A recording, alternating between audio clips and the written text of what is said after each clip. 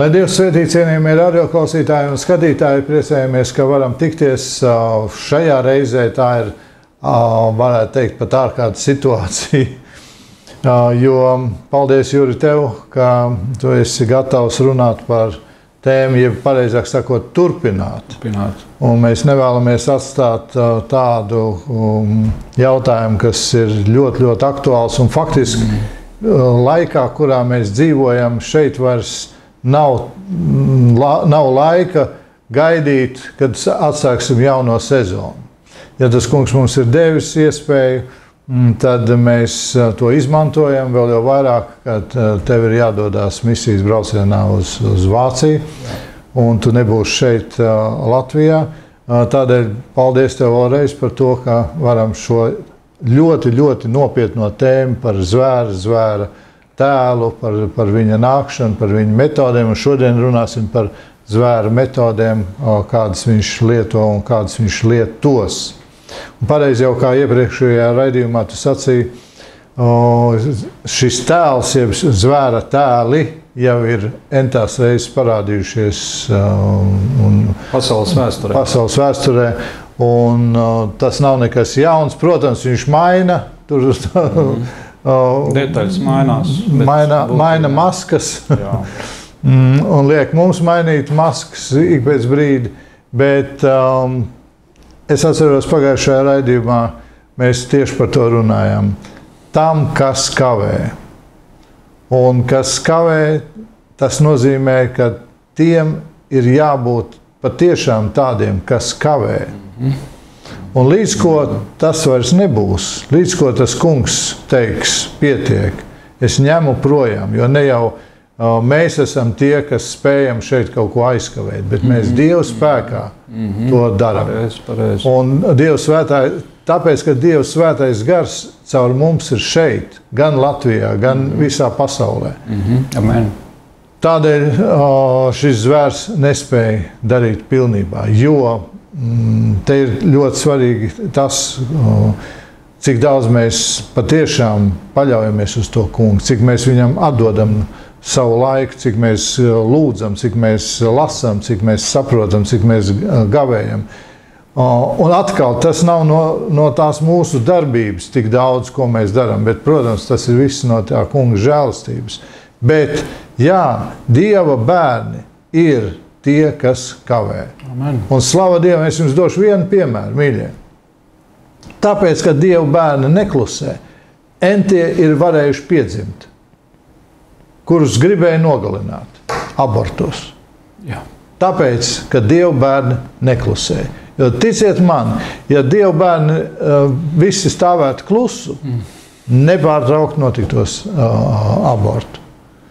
Un tas ir tikai viens piemērs. Nerunājot jau par, par visu pārējo, par uh, fake news. Un, un, un Tāpēc jau arī viņš ienīst uh, tik ļoti šis zvēra gars. Viņš ienīst uh, svaidītos un, un uh, ienīst dieva tēlu un līdzību cilvēkā. Un, un, un īpaši tos, kas ir apzīmogot ar, ar dievu garu, jo viņi tiešām traucē. Jā, nu, naturāli traucē. Lūdzu, atvainojiet man, uh, mīļie. Uh, masu mēdīji, visi, kas uh, esat. Visi ir brīnišķīgi ļaudis. Es nerunāju par ļaudīm, par cilvēkiem, bet es runāju par principu.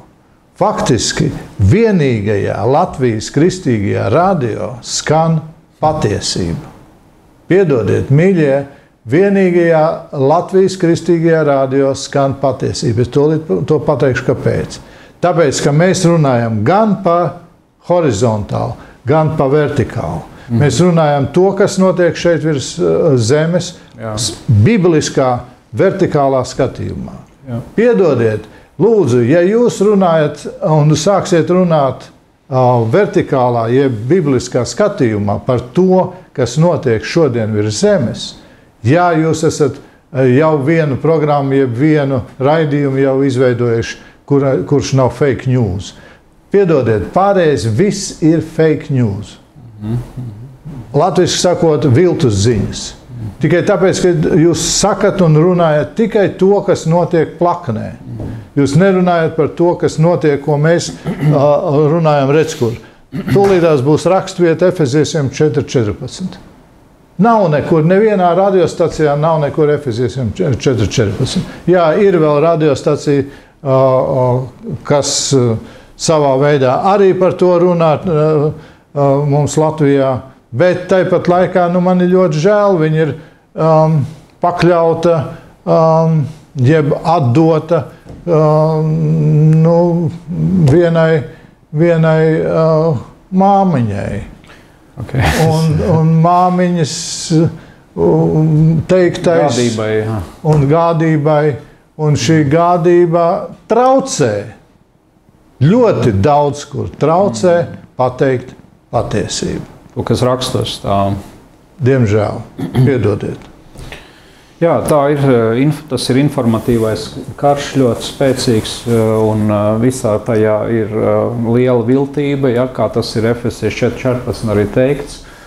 Un mums ir pavēlēts būt pieaugušiem, ne maziem bērniem, kurus var šajā viltus spēlē. Un šī viltus spēle ir dažādās vietās pasaulē. Viņi visādos izpaužos veidos, ne? Fake newsos un uh, teorijās. Un, uh, um, faktu piespēlēšanā. Uh, un, uh, tā visa spēle ir domāta. Jā, tur burtiski tas vārds metodos ir lietots. Šis vārds metodos, un tāpēc mūsu tēma ir zvēra metode. Jo metodos pieder pie tādas kara mākslas, arī uh, piemānīt to to ienaidnieku. Ja? Kur, kur, kur vien var un kā vien var. Ja? Tad, tad, kā otrā pasaules kara laikā tur uztaisīja butaforiskus tankus, un, un vācietis nodomāja, ka, ka tā pāri Lamanšam iešana būs tajā vietā. Un, Un patiesībā viņi bija citā vietā. Mm -hmm. Tas viss pieder pie kara mākslas, jā, ko, ko mēs labi zinām, film, filmās esam redzējuši, un tas ir visiem skaidrs. Mm -hmm. Galvenais ir piemānīt ienaidnieku, jo tad var e, viņu pārsteigt mhm. negaidītā vietā, un lai arī tur upuri bija arī e, nemaz, bet tomēr tas būtu nu, nesalīdzināms lielāka lielāk, iespēja uzvarēt nekā tas būtu tur noticis tajā vietā, pie Kalē vai kur šī pārējai. Tur tiešām bija masīvs spēks sakoncentrēt un nu, piemānīja. Un, un tāpat tās arī ir piemānīšanas veidi garīgā nozīmē, un par to runā Pāvils, lai mēs nebūtu mazgadīgi bērni, lai, lai mēs uz tādiem uzpūstiem gumijas tankiem vai uz, uz kaut kādām tādām lietām nereaģējam. un, lai mēs tiešām spējam pastāvēt šajā ļoti viļņojošā, visos šajos viļņos, ne, kā mēs agrāk esam runājuši, ja, kad eh, šī ir jūra. Cilvēku jūra, un viņi viļņojās, un vēja pūš ne, no, visā, no visām pusēm. Tas dzanoja tos viļņus uz augšu, un, un radās reakcijas. Ja, rodā, kaut kur ir akcija, un tad arī reakcija nāk uz kaut ko. Ja? Un tā var mūs manipulēt, ja tā grib kāds, lai mēs ejam pilnīgi nepareizā virzienā un pēc tam huh, pārsteigt maskas nost. Redzi, kāda situācija, vai ne? Tā kā tas, lai nekad nenotiek, un šis metodos, ne, viņš ir burtiski tulkojams tādā mehāniskā veidā, tulkojams kā ar, ar metodos, ar, ar ceļu. Tātad tas ir ceļš, kas kaut kur vienmēr ved. Mm -hmm. un, ša, un tas, kas šis, šis, šis ceļš, kas kaut kur iet, viņš ir dieva ceļš, kas ir skaidrs un viennozīmīgs un, un, un atklāts, lai mēs iemantotu pestīšanu. Un tad ir kāds cits ceļš, kas arī kaut kur ved. Vai neliekas plats, labs sēdz, bet viņš ved mūžīgā pazušanā. Ja? Un tā ir visa tā zvēra viltība un, un, un zvēra ceļš, es varētu teikt, tā zvēra metode, jeb zvēra ceļš, kurš ved eh, cilvēkus kaut kādā veidā un uz kaut ko, uz kādiem noteiktiem zināmiem mērķiem. Jā, un eh, visā šajā, var teikt, zvēra metodē, jeb eh, zvēra ceļā ir, nu, ir zināmas likumsakarības. Un tas nav slikti, ka mēs šo to atpazīstam. Visu mēs nezinām, bet cik tas kungs mums ļauj rakstos redzēt un redzēt un spriest par to, kā tiek sagatavota cilvēka apziņa ja, uz ceļā uz šo zvēru mērķi, kā uh, tiek sagatavota zvēra nākšana atklātībā. Jo pagaidām tas ir hibrīd karš. Mm -hmm. Un kā cilvēks tiek sagatavots globālai diktatūrai? Visi šie jautājumi diezgan būtiski. Un kāpēc būtiski? Vai ne lai, tāpēc, lai mūs nepieviltu tajā cilvēku viltības spēlē, kuras, kuras ir. Kāpēc viņas ir viltības spēles? Atklāta lieta ir vienmēr atklāta. Tad, kad es pasaku, ko es vēlos, un, un, un es tev jautāju, atļauju, vai tu arī gribi to pašu, vai ne? Un tad mēs varam iet pa vienu ceļu. Mm -hmm. Tas nozīmē godīgi un skaidri. Tas ir skaidrs attiecības un, un godīgi, godīgi ceļu iešana kopā, sadraudzībā un uh, labprātībā. Tas ir vienmēr dieva ceļš. Uh, tam pretim stāv viltus ceļš, kur uh, Es tev nesaku visu līdz galam, es tev neatklāju visus faktus, ja es tev baroju ar kaut kādām puspatiesībām un mēģinu radīt tevī kaut kādas reakcijas un tad izmantot to. Nu, vienkārši piemērs. Piedāvā, tev būs liela bagātība, tu būsi slavens, tu būsi ietekmīgs Jā. cilvēks, tu būsi uh, populārs uh, starp mūziķiem, starp uh, māksliniekiem. Nu, beigā, beigas tev nesaka, kas, kas ar tevi notiksies. Tas ir piemērs. Jā. Jeb Kristum bija kārdināšana, tūkstnesis. Es tev došu visu šīs parādu, visu panorāmu, man, skaisto panorāmu. Un tas tev piederēs, ja, ja tu man uh, pielūgs uz mirkli. Jā, viņam tas piederēs. Bet viņš ar tēvu būs pazaudējis attiecības. Mm. Ko tas līdz viss? Tādā veidā nesakot um, pašu galveno, ja cilvēks tiek piemānīts ar kaut kādām lietām, un to sauc par manipulāciju gudrā valodā un psiholoģiskā valodā. Un tā būtībā manipulācija. Jebkura manipulācija, kur notiek starp cilvēkiem, kur cilvēks cilvēku izmanto, viņš pārvēršas par zvēru un viņš pārvēršas arī par Mm, par okultistu, jo tur pat notiek burvība. Jo kā es uz tevi gribu iedarboties, tev nesakot, ko es patiesībā gribu, kur es tevi gribu aizvest, tā tūlīt pat stājās spēkā okultisms. Tā ir viena no burvības metodēm. Lūk, tāpēc mums ir, cik nu tas ir iespējams, saprast šo zvēru augšupēju, jo viņš, viņam ir ceļš, kur viņš grib bruģēt. Un viņa mērķis ir, es 14, 14, es uzkāpšu augstumos, es būšu kā pats visaugstākais. Mm. Tā ir viņa tāda no pati lielākā stratēģija. Būt kā, kā dievam un būt arī pielūgtam kā dievam. Viņš mēģina būt antidievs. Viņš šo ieceru nav nekad atmetis. Es par to brīnos. Man tas nav skaidrs personīgi un vispār, bet es ar to nelauzu galvu, kāpēc man tas nav skaidrs. Jo man, man zināšanas ir ierobežotas. Es nesaprotu, kāpēc tas ir. Kāpēc šis, šis lepnums aizvien, aizvien un aizvien kulmin, kulminējās? Un... Pierod par tādu vienkāršu salīdzinājumu, kaut arī daudzkārt ir dabūjis par ragiem un zina patiesībā ļoti gudra, inteliģenta būtne. Ir arī saprot, taču, ka, ka visaugstākais eh, eh, nu, nav piemuļķojams. Ne? Nav, bet neraugoties uz to, laikam šis, šis, šī apstulbotība ir tik liela, ka viņš iet uz savu mērķi un cenšas paraut līdzi, mm. cik vien iespējams, un ja vien iespējams, arī izredzētos. Mm. Ja vien tos varētu pievilt, viņš arī tos pievilt bet tur, kā Dievs viņam pavēlēs. Tātad šis ir ceļš. Es teiktu, tā anticeļš. Ir dieva ceļš, ir Kristus ceļš, šaurais ceļš, svētīgais ceļš, dzīvības ceļš, bet ir anticeļš. Un tas ir sātāna ceļš, jeb citiem vārdiem sakot, zvēra ceļš uz, uz, uz virsotni. Un līdzīgi kā tas ir Uh, bijis ar kunga nākšanu pasaulē. Ja, tad, tad kungs ir tas tieši, tiešais pretstats zvēram. Mūsu kungs Jēzus Kristus ir tiešais pretstats. Ja, viņš ir trinitātes otrā persona, un viņš ir ar patiesu cilvēcisku vaigu. Viņš ir patiesa dievs un patiesa cilvēks vienlaicīgi. Un, uh, un inkarnējies dievs, un, un ir tāds pats kā nu, kļūst līdzīgs. Un viņa atnākšana virs zemes un viņa kalpošana ir bijusi sagatavota. Mm -hmm.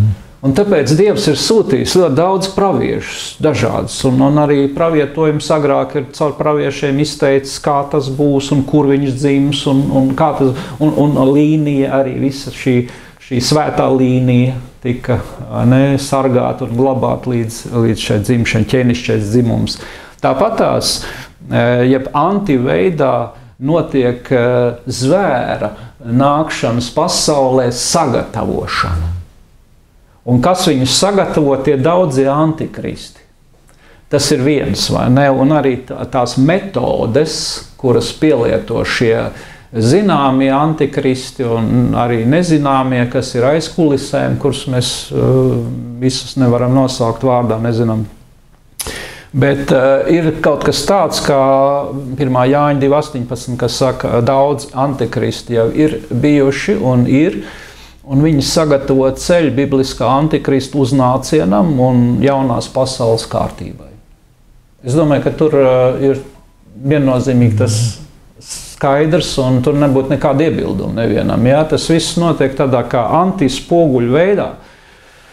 Un, ja mēs gribam vēl konkrētāk palūkoties uz, uz šo sagatavošanas uh, ceļu, kā notiek šī, šī virzīšanās, šī, šī virzīšanās notiek, mēs viņu varētu par attīstību saukt, anti-attīstību.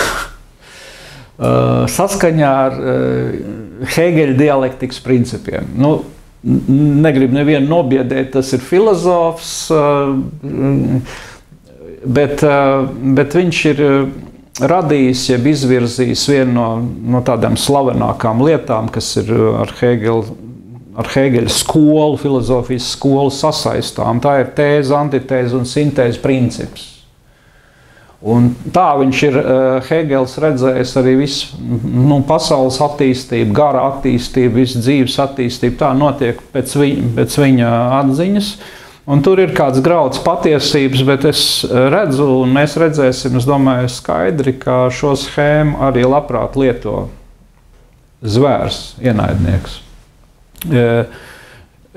Vienmēr, kur ir pateikta tēze, ja, kā tu pagājušajā teici par zirgu vai ne balto, un tad ne, tad miers, drošība, un uzreiz ir karš, antitēze, un karam seko atkal citas postības, vēl šausmīgas postības, un tad uh, jānāk ir risinājumam, ko tad sauc par sintēzi aha, ne, ir kaut kāds nu, globāls risinājums. Un, un, un, un, tad, un, tad, un tā aizvien.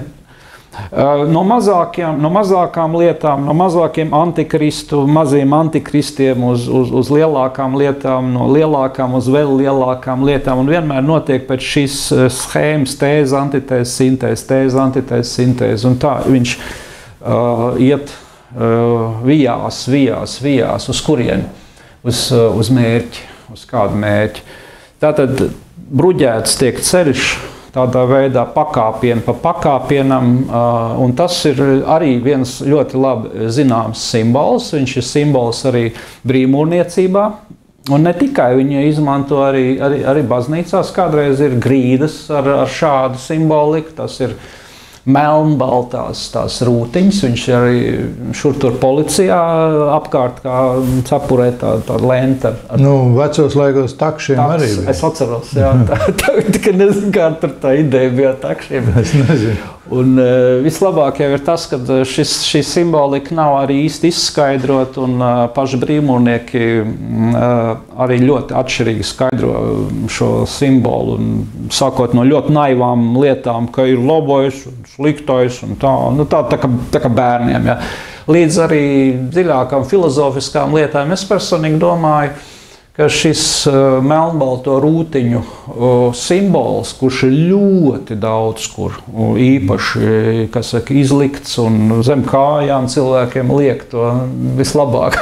Uz grīdas. Uz grīdas lai, lai tas, tu staigā pa simboliem dzīviem un pats nemaz nezini, ja, kur, kur kas tiek bruģēts, uz kurien kāds ceļš tiek bruģēts. Bet tas, tas princips ir tāds ar tām rūtiņām. radīt problēmu. Tas atbilst tēzei. radīt problēmu, teiksim, arī nu, izmantot, eksploatēt problēmu. Arī tā var teikt. Ja? Nu, nevienmēr mums ir pierādījumi tam, tieši pierādījumi, ka, ka šī problēma ir radīta laboratorijā. Ja? Mēs zinām to, bet, bet mēs nevaram pierādīt.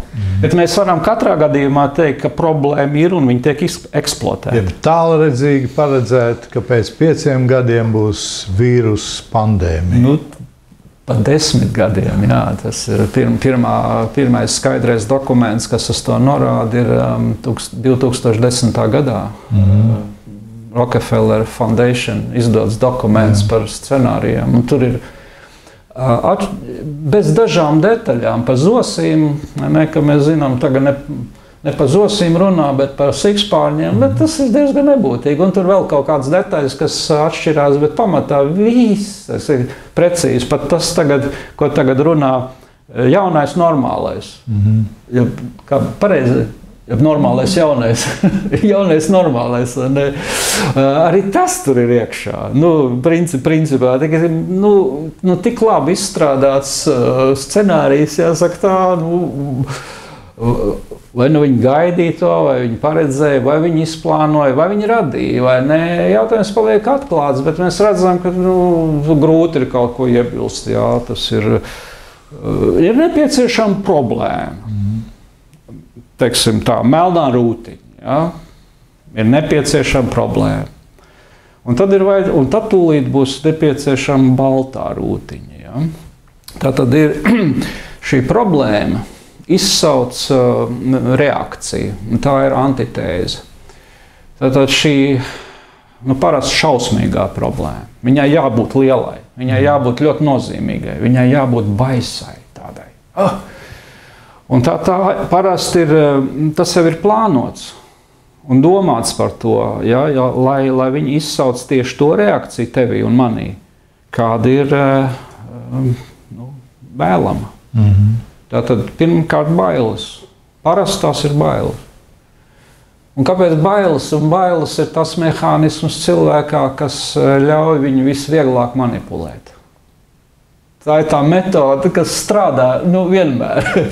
tā ir nu, atskaitot dievišķās bailes, kas ir uh, skaidras, viņas ir uh, godīgas, viņas ir pareizas, jo Dieva vārds ir absolūts. Un, ja viņš saka, atgriezies cilvēku lai tu neiet bojā, tad tā arī ir baidīšana, bet tā ir dievišķa.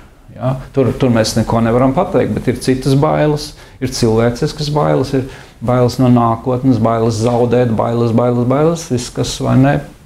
Atgriezties pie bailes, neatgriezties pie mīļotā dzīves stila ja, un, un, un viss, kas tam līdzīgs. Bailes, panika, histērija, vārdarbība. Ja. Tas ir bieži vien tas, kas tiešā veidā izriet no šīs problēmas, kas ir radīta kā tēze, un viņai pretim stāv antitēze, reakcija. Un tas ir tā domāts, lai eh, cilvēki vismaz pirmajā stadijā, vismaz sākuma stadijā, nu, bet pa lielam eh, tas strādā, ka viņi brēkdami brēc un saugdami sauc. Dariet taču kaut taču, ko tādu. Nu, beidzot, ne, jo, jo mēs, gribam, mēs gribam dzīvot, mēs gribam būt laimīgi. Kur ir risinājums? Beidzot, mēs taču esam nu, noguruši no vis tā, ne, mājās sēdēt, ne, ne, nestrādāt, ekonomika gāžās, nedrošība vairojās. Nu, tā, a, nu, lūdzu, vai ne? Nu, kur ir tas sintētiskais risinājums? Un, un te ir jāsaka par, par nožēlu, ja nu pasaule, pasaule tāda ir, pasaule ir ļoti zvēriska. Ļauna. Ļauna pēc savas dabas, to arī saka arī Jānis savā vēstulē, pirmajā. Bet mēs redzam perfektus piemērus pasaules vēsturē, kur šī schēma, tēze, antitēze, sintēze darbojās tā kā var teikt, tā kā uz klavierēm nospēlēts. Mm -hmm. Tā kā nospēlēja. Un, un, eh, un šie piemēri ir iegājuši klasikā. Tāpēc es eh, nu, vismaz divi no viņiem, pat tie divi pēdējie, par tiem būs īpaši runa. Bet Tie divi pirmie ir ļoti, ļoti klasiski. Tātad tas ir Romas dedzināšanas notikums 64. gadā pēc Kristus, ko visi sākumā Katrā ziņā šodien vēsturnieki debatē par to, ka Neirons jau nesot bijis tur klāt, un Neirons bija izbraucis uz dāču. Mm. Kā Gorbis kādreiz arī izbraucis uz dāču un nekanāts pie, pie varas orkomiteja. Jā, Altie nemalda. Viņš jau nevarēja tik ļauni, viņš jau bija izbraucis. Tā, la, la, la, la. Tas ir dabisks viss. Roma ir celta no koka mājām. Tas, tas ir, protams, ka uguns nelaime bija tā, par ko ļoti daudz eh, domāja agrāk, ja tā izraisīsies, pasties, kas būs un tā tālāk. Bet tajā laikā nebija nevienam šaubu, kas ir šī, šī ugunsgrēka izraisītājs. Nevarēja pierādīt. Bet eh, ļoti daudz zināja, ka tas ir Nerons. Nerons gribēja pārbūvēt Romu, viņam traucēja viss šī padarīšana ar tām koku mājām, un viņš bija iecerējis Uh, kaut ko citu. Un pēc ugunsgrēka arī viņš arī to izdarīja. Tikai kāpēc šis piemērs ir, ir iegājis vēsturē, jo šajā laikā gāja bojā ne ugunsgrēkā, bet uh, ugunsgrēka, var teikt, ideoloģisko seku likvidēšanā gāja bojā Pēters un Pāvils uz tā, uz tā fona, uz, tās, uz tā bāzes tika apsūdzēti kristieši mm. un jūdi, jūdi un kristieši. Par to, ka viņi ļaunprātīgi pielaiduši tātad, Romai uguni, bet uh, viss tas, uh, viss tas runā par to, ka var vienu leksim, izraisīt problēmu, kur kur sākumā risinājums jau ir zināms. Es gribu to panākt, un man vajag šo, uh, šo situāciju. Mm. Es gribu šo uguni, jo man vajag to rezultātu. Tad problēma, reakcija, risinājums tur strādā. Nu, un otrā klasiskākā lieta ir Reichstaga dedzināšana 1933. gadā, ko izraisīja Hitlers. Tas arī ir ļoti labi zināms fakts. Apsūdzēja komunistus. Tas palīdzēja ieviest Vācijā nacistisko diktatūru. Tieši šis notikums. Vēl, vēl kāds pāris fakts es pateikšu, tas tik ļoti atgādina to, kas notiek šodien, nu, brīžiem, nu, tā kā viens pret vienu. Jā, tāpēc varbūt ir vērts Par to, bet tas uh, nosacīti ir uh, globāla mēroga notikums, ja nu vienīgi runā par fašistu nākšanu pie varas kā tādu un tālākais viss, kas, kas, kas no tā izrietē, bet tas nebija nu, nu, tik globāls notikums. Bet globāls notikums, kur mēs redzam tēzi, antitēzi, sintēzi, nu, klasiskākā veidā, ja, tur, tur, tur ir jābūt aklam.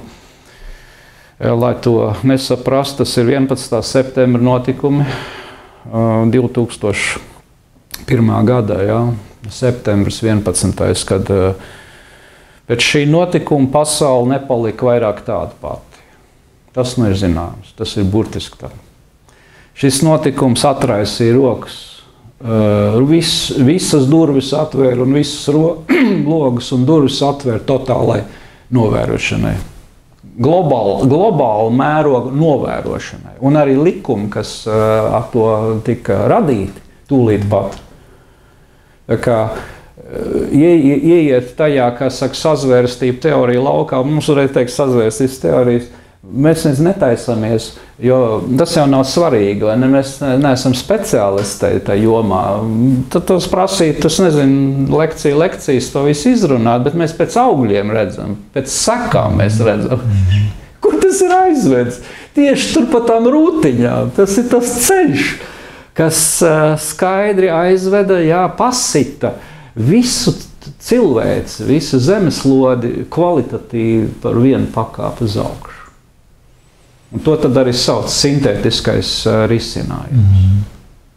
Un pirmajā fāzē visi bija laimīgi par to. Tāpēc, ka mums taču apdraud terorisms uz katru soļu.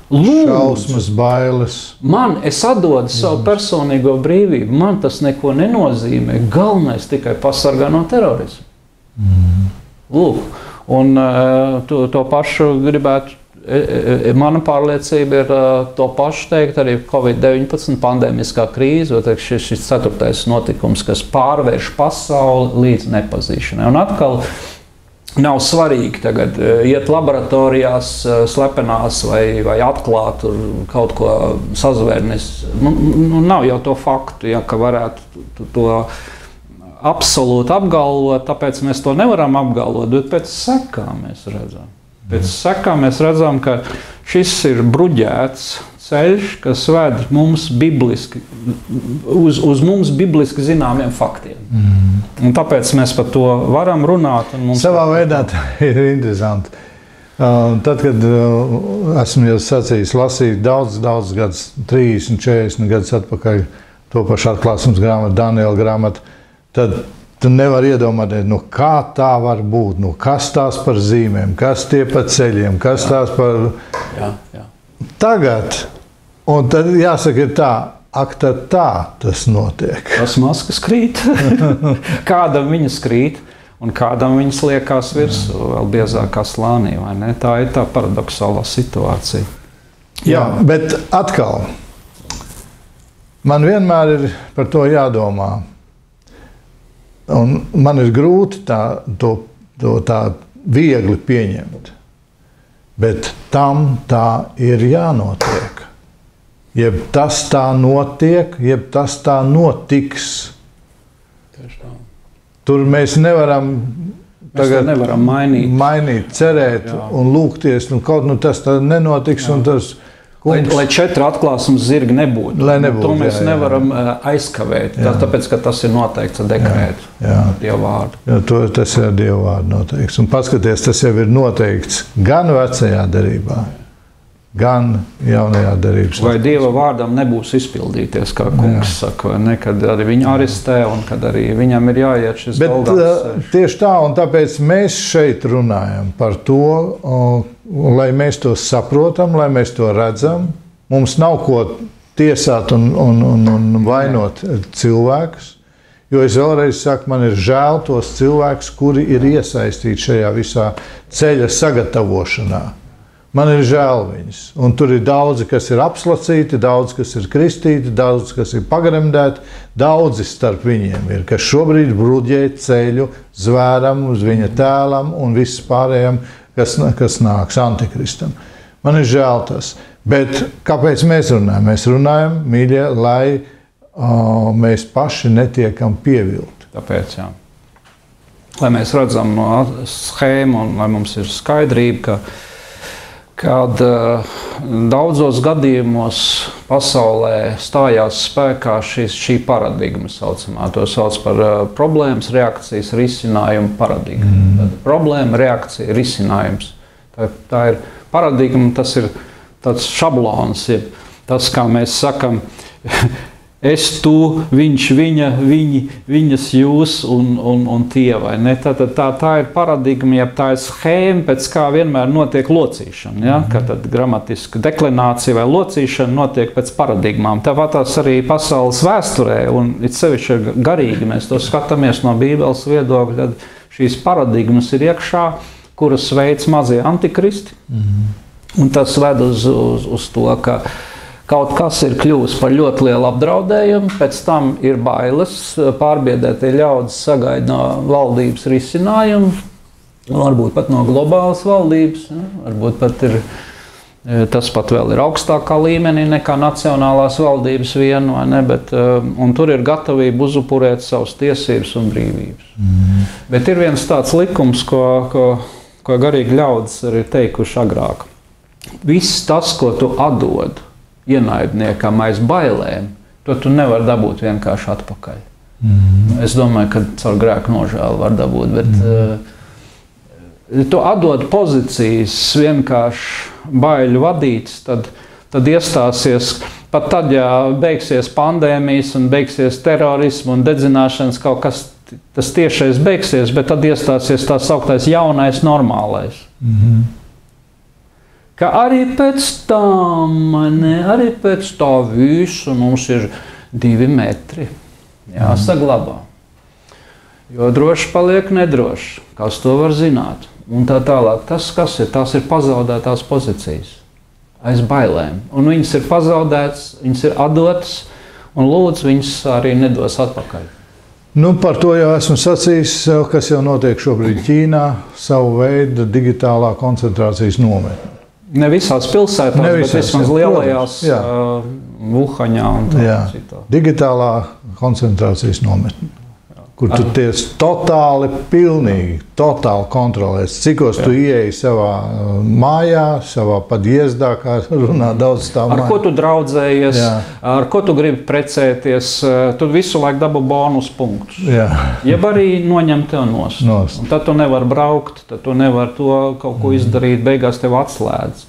Atslēdz veselu virkni servisu. Es redzēju Vācijas televīzijā mm -hmm. dokumentālu filmu CDF televīzijā, kurā burtiski uz vienas jaunas sievietes piemēra bija parādīts, kā dzīvo vai ne mhm. modernā Ķīna, Ķīnas pilsētā. Un tur bija tieši tas, jā, viņš izvēl, izvēlas sev dzīves draugu, jo tam arī labs bonus skaits ir. Mm. Un tad uh, si sistēma iesaka, jā, šis tev mm. par šo draudzību tev viss ok. Bet, ja tu kaut kur citur, un ja tu kaut kā, ja tu kaut ko nelojāli dari vai nepaklausi, tev, protams, nearistē un tev neiemet Jā, tas protams. nē, bet tikai bonusiņu nost un nost un nost. Skatījos arī kādu citu pārraidi, kur tev paņem nost bonusus tikai tāpēc, ka tavā Facebookā ir kādi nu, ar zemiem bonusiem. Tur tā lieta. Un kāpēc tu esi, viņi, viņi tevi kā draugi skaitās? Tātad tev vajag viņus visus aizzīt projām. Tad, tad viss cilvēka dzīve ir vadīta no, no sistēmas, un viņš tiek um, tādā veidā apziņa tiek sagatavota. Un Terēze ir tas, ko Sātans nesaka gala rezultātā, kas būs. Viņš stāsta, ka jums būs drošība, jums būs miers, jums būs viegli uh, pirkt un pārdot. Uh, tad, kad jūs paņemsiet to manu zīmi, un viss būs brīnišķīgi, tikai beig beigās viņš nesaka to, ka jūs būsiet mani vergi, mani vergi. Un te ir jāsaka uzreiz jau iepriekš. Es zinu, ka, ja tas kungs atļaus, mēs uh, veidosim to, arī nākošos raidījumus. Bet te man jāsaka iepriekš, uh, vergi, jeb um, zvēra vergi, kuriem vairs nebūs glābšana. Un to saka Dievvvārds. Jā, ir tā robeža, kur tiks pārkāpta, un tad vairs nebūs ceļa atpakaļ. Jā, tā ir kāda robeža, kur nebūs vairs ceļa atpakaļ. Bet es no tās televīzijas pārēju no Vācijas televīzijas eh, par ko jauno sievieti, kur visu laiku bija monitorēta, viss, viss, viss pilnīgi, pilnīgi totāli uzraudzīja. Es nezinu, kuras vietas vēl uh, sadzīvē, tad neuzraudzīja. Mm. Jā, varbūt, ka ir kādas, bet eh, principā viss. Un tad, Viņai tika jautāts, mm, kā viņas to skatās. Un atbilde bija ļoti pozitīva. Mm -hmm. Tāpēc, ka tas dod iespējas karjerai. Viņa zina spēles noteikumus, un viņa labprāt uz viņu parakstās. Viņa nesaskata tajā ne problēmu, ne eh, kaut kādu draudu, bet drīzāk sev nu, labo vēju, kas viņu dzēna, kas saka, uz, uz augšu. Tas ir tas, ir tas jā. Kāds apmāns? Jā, tāpēc arī noteikti beig beigās tajā zīmē, par ko tu runāji, tagad tas ceļš, kur nav atpakaļ, kad cilvēki jau ar prieku varētu pieņemt to, tieši to piedāvājumu. Jā. Atšķirībā no tiem, kas nepieņems to ne pa kādu cenu un būs nonāvēti. Bet viens tāds raksturīgs teiciens ir visā šajā stāstā. Mm -hmm. šis, rakst, šis teiciens ir raksturīgs jau kopš, protams, no Nerona laikiem un uh, Hitlera laikiem. Uh, für uh, ihre Sicherheit, tas nozīmē priekš, priekš jūsu drošības.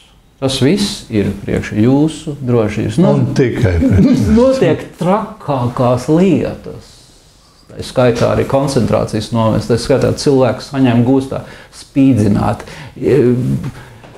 40 tūkstoši, cik es lasīju, vai ne, tajā pēc tās dedzināšanas bija. Un, eh, un, un, un, un tas viss ir eh, ar šo te skaisto lozumu. Mm -hmm. Jūsu pašu drošība. Nu, tāda lūk, vēlamais risinājums tiek piedāvāts. Un, uh, Patiesībā šis risinājums ir gatavs jau pirms mm -hmm. problēmas, pirms tā, ka kaut kas jau ir noticis, jau šis risinājums jau, jau lūdz vai nestāv gaisā. Un, nu, varbūt tas ir ID 2020, varbūt ir kāds cits risinājums, bet princips ir viens un tas pats grib panākt kaut ko, un tas ir ceļš, ceļš metode, mm. metodas. Uh, militārās mākslas arī viens no paņēmieniem. Ne, kā, kā dabūt operāciju, kā uh, veiksmīgi realizēt operāciju. Ne. Tā ir operācija Jaunā Roma, vai tā ir operācija uh, jaunā, trešais reiks, vai tā ir operācija? Ceturtais reiks. Jā, Covid-19 operācija un tā tālāk. Bet mums no biblisk, bibliskā punkta skatoties ir skaidrs, kā no rakstiem, ka cilvēks tiek pamazām vest pretim noteiktam mērķim. Un tā ir pasaules vienvaldība, diktatūra, bezskaidrs naudas sabiedrība, cilvēku skaita samazināšana virs zemes, tā ir skaitā. Ja? Mm. Jo zeme esot pārapdzīvot, mēs jau to zinām, un uh, apzīmogošanai. Respektīvi, tā ir antikrista valdīšana lielo bēdu periodā. Ja? Tas ir Vienkārši es esmu šo brīvmonieku simbolu ielicis, bet ne tāpēc, ka tas šeit ir tas izšķirošais, vienkārši uzskatāmības un ilustrācijas pēc. Ja man patīk, tas ir rūtotais, melnbalts, rūtotais ceļš Un tad tur ir zināms posms, zināmas darbības, notikumi, trepas, tur, tur, tur kāpnes. 33 pakāpienas. Jā, tātad metodos, vai ne tādā vai citādā veidā, viņi, viņi paši atšifrēs savus simbolus. Tā nav mūsu darīšana, bet tas, tas pats principiālais pieejams, ja, ka kādreiz lietas tiek apslēptas cilvēkiem burtiski acu priekšā. Viņš staigā pa šitādu nu, ceļu, mm. rūtot ceļu. Un kāds jau zina, ka, ka kādam pa viņu ir jāstaigā tādā veidā. Redz, te ir tas, par ko jau es sacīju. Skatīt lietas horizontāli un caur vertikālo prizmu. Jo, Amen. paskaties, pagājušajā raidījumā tur rādīja apvienoto nāciju dokumentu, kurš 2008. gadā jau izdots par vienas pasaules kārtības, jeb viena pasaules valdi, valdība. Par, tas nozīmē, ka tur ir viena valdība, viena valūta, jeb nebūs valūta, jeb viss. Paskatieties, šeit raksti Dieva vārds. Par to jau visu saka. Jau ir pateicis jau cik tūkstoši gadus atpakaļ. Jā, jā, jā. Viņš ir atklājis, atklājis ienaidnieku schēmu. Un kāpēc es to gribu akcentēt? Es gribu to akcentēt, mīļie, nebaidīsimies lasīt Dievu vārdu. Un, un te ir atkal, nepietiek tikai lasīt Dievu vārdu, piedod, ka es tā saku. Es daudzkārt esmu sacījis, lasiet tikai Dievu vārdu. Bet šeit nepietiek tikai lasīt Dievu vārdu, šeit ir jāskatās arī blakus, kas tev notiek tavā, un tad tu redzēsi to brīnumu, kā Dieva vārds piepildās, cik viņš ir pareizs, cik viņš ir patiess, mm -hmm. cik viņš ir tālredzīgs. Cik viņš ir atklājis, paredzējis un pravietis norādījis. Tāpēc, ka tas ir Dieva vārds, tas nav jā. cilvēka kāds plāns. Jeb... Jā, jā. Nu jā, nepavēlt arī ir šīs tēmas. Ir ļoti, lai arī ļoti svarīgas un, un ļoti vitālas šim laikam, bet kā tu redzi, Tagad tikai sāk attapties dievu tautu. Mm. Sāk viens otrs jautāt, kā tad īsti ir tur? Mm. Mēs palasījām atklāsmes grāmatu, bet tas daudz ko nedēļa. Ne? Tā mēs spriedām, kur tagad, ku, ku, ku, kurā vietā tā koordinācijas sistēma grūti ir. Un uh, Dieva tauta nav mācīta. Māc, mācītāji nav pūlējušies šajā laukā. Ne tikai tur parunāt par kaut kādu čipošanu, bet Bet visu pēdējo laiku mācību, ko sauc par eskatoloģiju, ne, atklāt un parādīt visas tās nu, atslēgas lietas, kas būtu jāzina. Un, un tas ir tas, tas, tas grūtais šajā lietā, ka nu, uz tā stāv kaut kāds pārklājs virsū. Tāpēc, ka nezinu. Tas ir tas pats, kā lai tic, ka nav sludināts. Nav sludināts, un arī nav tā motivācija bijusi iet iekšā, jautāt. Un, Es domāju, ka padomu laikā mēs dzīvojam kā ticīgie. Tā motivācija bija ārkārtīgi spēcīga. Mm -hmm. Meklējam, mēs meklējam rakstos, un tas nekas, ka nemācām. Pats arī cilvēks var lasīt un, un domāt par to. Tātad šis lielais risinājums neko piedāvā, ja ko piedāvā zvērs. Daudz maz risinājumu ir eh, dažādas bijušas situācijas, kas līdzinās eh, šai Hēgeļa paradigmai, tēze, antitēze, sintēze. Rezultāts ir sasniegts. Tas tā kā, zin, tā kā šaha spēle. Jā. Kāds spēlē gudri šahu un tie gājieni ir izrēķināti. Un, bet ir liels risinājums, kas beig beigās tiks uh, piedāvāts. Jā. Tas ir tas, ko sauc latīņu valodā un kas ir simbolizēts arī ļoti daudz kur. Un tik tālu, ka cilvēks pat kādreiz tur naudas zīmē rokās, vai ne? Viņam deguna priekšā kaut kas ir atklāts, bet viņš to neredz. Ne? Viņš ne, ne, nevar slēgt vaļā. Viņam nav atslēgas, ko atslēgt. Ja? Un tas ir šis vārds ordo ab kao. Ordo ab kao nozīmē kārtība ārā no haosa. Mm. Un tas ir eh, šeit ir eh, par pamatu. Tas, eh, tas ir gan uz naudas zīmēm, gan, gan uz, ģērb, uz ģērboņiem. Tas stāv, tas ir arī kādos, um, kādās slēgtās organizācijās, arī simbolikā attēlots. Bet aiz tā stāv viena pagāniska leģenda par putnu fēniksu. Mm -hmm. Fēniks atzīmes no pelniem, pagāniskās atzimšanas simbols. Tas ir pagāniskās atzimšanas simbols. Mm. Kārtība ārā no hausa. Aiz tā stāv dziļa filozofija, dziļa garīga, dziļa garīgs noslēpums. Ja, tas pieder pie, pie šīs nu, Bābeles netiklas noslēpumiem un tā tālāk zvēra noslēpumiem. Bet, uh, Bet tas ir tas, ko, ko vēlās uh, panākt uh, pagāniskā atzimšana. Tad ir radīta pamatīga problēma, ir uh, milzīgas reakcijas uz to, un tad ir totālais risinājums. Ja, šis risinājums ir ļoti, ļoti liels. Un, uh, bieži vien viņi šo feniksu stilizē kā ērgli. Mm -hmm. Tas nav ērglis savā pamatā. Viņš ir kā ērglis, bieži vien taisīts ar vienu galvu vai divām galvām, vienalga. Bet viņš ir fēniks, tas putns. Un, runa ir par šo lielo risinājumu. Lielais risinājums arī saucās otrā, ar otru devīzi, ar otru lozungu, kas ir ļoti svarīgs. Novus ordo seclorum. Ne? Tas ir uz vienu dolāru naudas zīmes uzspiedies. Bet, tas simbols ir agrāk jau sen pazīstams, bet viņš ir, viņš ir uh, uz, uz, uz, uz vienu dolāru zīmēm aizvien vēl.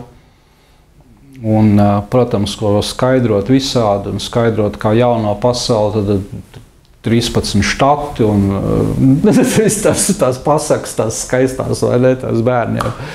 Brāl, atceries, 90. gadu sākumā uzskatījuši dolāru, ka tā ir vispār svēta nauda. Nu, tāda svētīga, svētīga nauda, jo tur ir uh, dievam mēs uzticamies, ja dievam mēs ticam, God we trust. God we trust. Jā, un, un, un šī dievišķā acis. Dieva acis tā varētu būt. Jā. Un viss pārējais. Piramīda, jā, viss arī attīstībā tik uz priekšu, uz priekšu. noslēpuma vieta. Tur oh, zin, jā, noslēpuma notiek. Bet bibliski, jā, un tas ir svarīgi to, par, par to vertikālu, ko tu teici. Jā, mēs jā. redzam skaidrojumu. Šīs pasaules laimes eh, vieta, kur viņi grib radīt, mm. jāsaka, tā nav tā laimes vieta, un tā būs lielākā nelaimes. Bet atkal, brāl, tā būs laimes vieta šiem cilvēkiem, kas tur mājos savā, no, no savā veidā. Sa, pareizāk sakot, tā būs viņu paradīze, vienīgā paradīze. Ja viņi ne, neatgriezīsies un nenāks pie tā kunga, tad nu, tā ir viņa paradīze. Bet ļoti nosacīti, jo nu, protams. jau zini, kas atklās uz grāmatā. Tur viss ir uzrakstīts par augoņiem un par, protams. par uh, kā līst virsū dieva dusmas uz galvas. Īs, īslaicīgi par, paradīze. Tā varētu teikt. Nu, lūk, mēs esam šo galveno tādu uh, nu, schēmu, es domāju, sapratuši. Un, uh, mēs jau pieminējām šo kā tas ir pasaulē, arī parādījies Romas lielais ugunsgrēks. To gribētos pakavēties vēl pie vienas uh, 33. gada Reikstāga. Reikstāgs ir Vācijas parlamenta ēka Berlīnē, kur tik ļaunprātīgi nodedzināta. Un, un šeit ir nu, tāda schēma, kur var redzēt antikrista, antikrista metodas, ja viņa, viņa darbības paņēmienus. Un te ir kaut kas kalpo par iegānstu absolūtu svaru sagrābšanai. Mm -hmm. Un Hitlers, pateicoties šai dedzināšanai, iedibina nacistu diktatūru tieši 33. gadā un noskaņo sabiedrību pret komunistu opozīciju, palīdz realizēt ārkārtas stāvokļa pasākumus. Ja? Un tad pasties, pāris stundas pēc ugunsgrēka nacistu propaganda izplata ziņas par komunistu sazvērestību.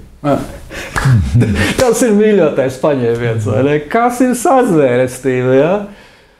Parasti to, kas ir sazvērestība, definē tiem, kuriem ir vāra. Ja? Tie, tie saka, ne, ka tas traucē padomu iekārtai, piemēram, vai ne, tā domāšana, tā nav mūsu padomu domāšana, tu esi no, no tās okeānijas, tur tev ir jāizolē, tāpēc, ka tu nepareizi domā, ja mēs tev pateiksim, kā pareizi jādomā, un te viņš arī Tātad, kas ir vainīgs pie šīs parlamenta ēkas dedzināšanas? Protams, atrada tur viena nabadzīņa. Ja,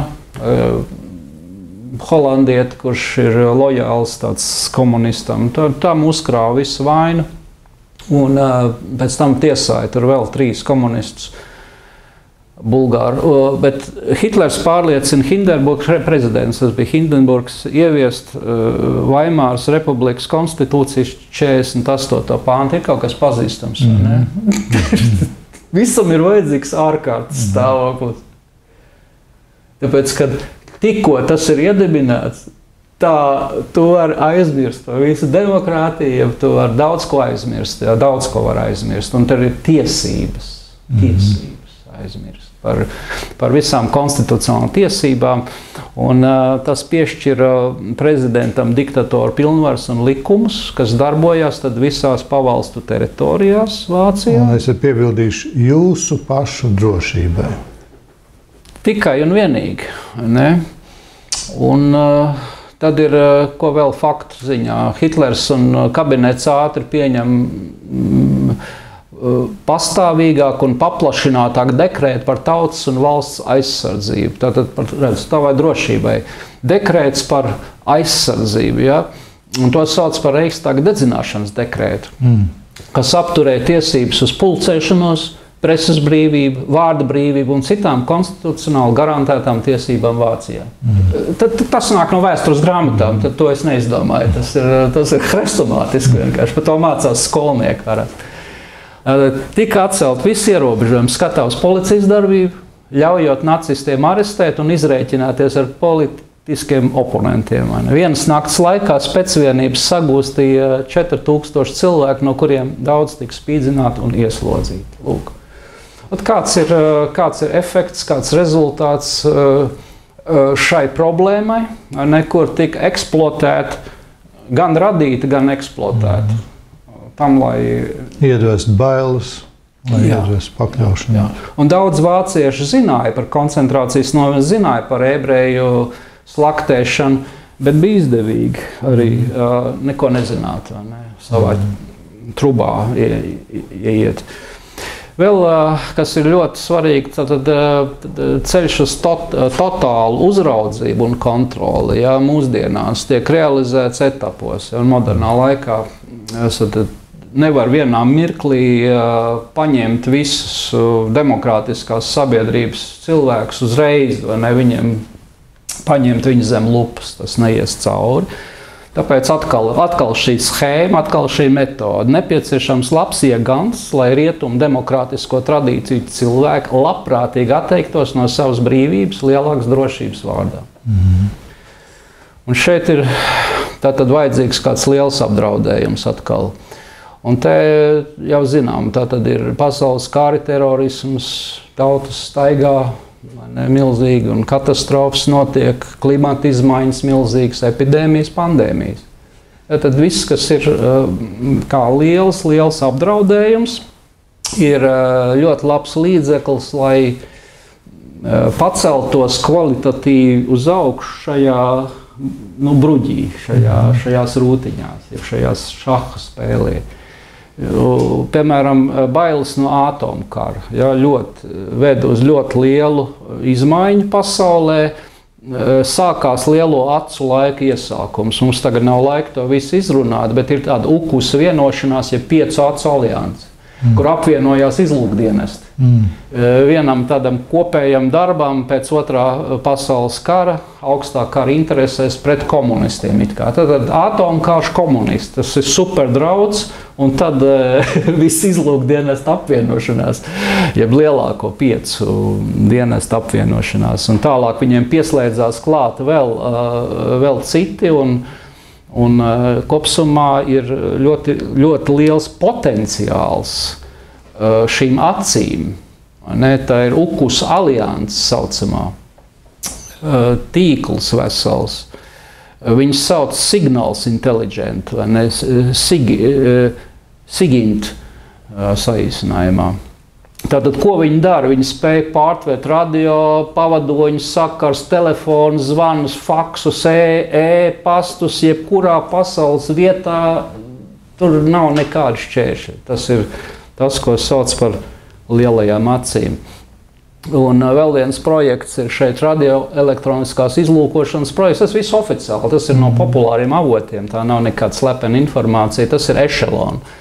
Ešelons projekts radīts sākumā spiegošanai pret PSRS un Austrumu bloku, bet tālākajā gaitā attīstās par globālu, privāto un komerciālo paziņojumu pārtveršanas sistēmu.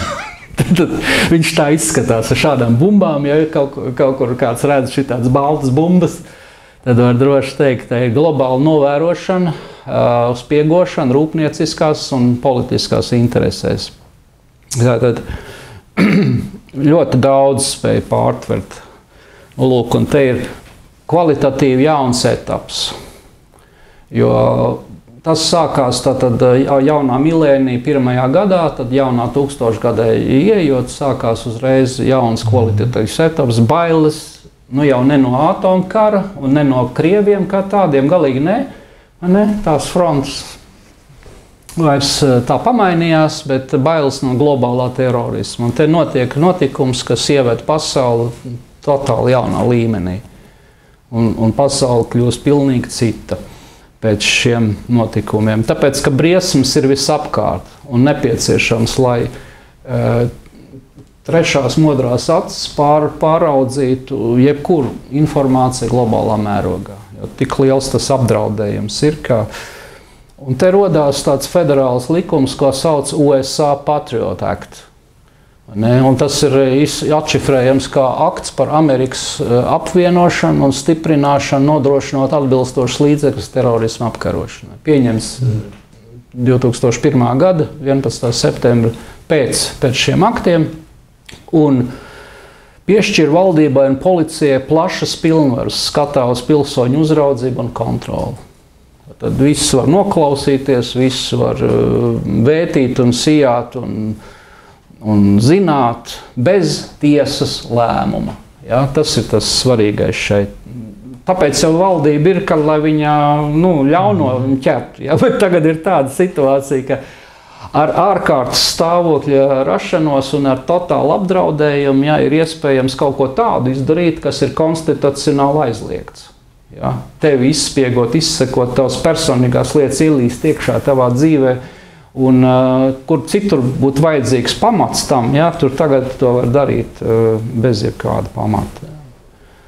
Un tas ir Nacionālās drošības vārdā, kad ir uh, ja, šis in, informācijas apzināšanas birojs, ir arī radīts, uh, kas tieši to turpina šo, šo, šo, šo lietu iesākto. Un tad tas, kur tā lieta uzsprāga, bija saistībā ar, ar Eduardu Snowdenu, kas atklāja sabiedrībai, ja, iznes, nezinu, kas viņu mudināja un kas, kas, tie, kas aiz viņa stāv, bet atklāja šo projektu prizmu. Uh, programma for robotics in, e, e, un, un tā tālāk. Tas ir tāda programma, kas uh, ievāc jebkuru informāciju mm. par jebko un um, pilnīgi visu sortē, pilnīgi visu um, apkopo. Tad, tad pil, tu, tu esi neko nevar, te, teju neko vairs nevar noslēpt ja, no tā visa.